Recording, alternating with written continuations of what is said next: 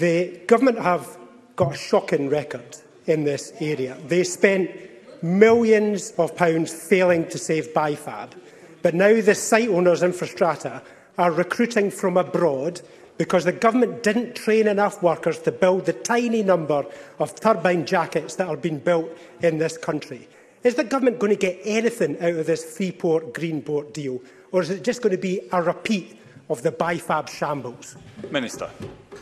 Uh, we are hugely focused on delivering and maximising the opportunities from, uh, from Scotland and other opportunities that present themselves as a result of the transition to net zero, working with uh, my colleague Michael Mathis uh, and myself. Uh, I'm heading up uh, a working group that's looking to make sure that we can maximise the benefits for Scottish businesses and that Scottish businesses are well prepared with the capacity, the capability and the skills in place to take advantage of those opportunities as, as they come forward.